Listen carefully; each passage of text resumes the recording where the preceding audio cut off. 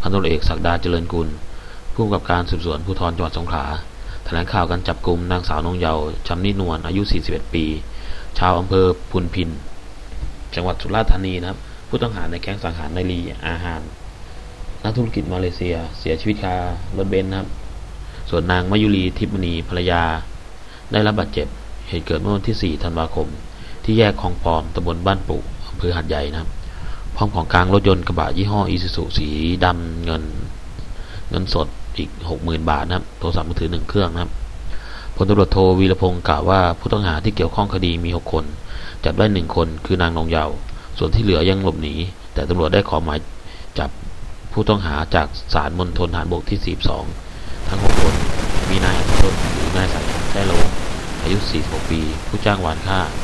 นายชินพัฒน์หรือยุทธพิทักษ์ไทยายเอกพลหรือนบอินแก้วมือปืน นายยุทธศักดิ์หรืออุดกล้ามาก นายธนเดชเงี้ยนตันนะครับพลตำรวจโทพิวีรพงศ์กล่าวว่าจากการสอบปากคำนางสาวนงเยาว์ให้การว่านายลีอาหารผู้ตายได้เสีย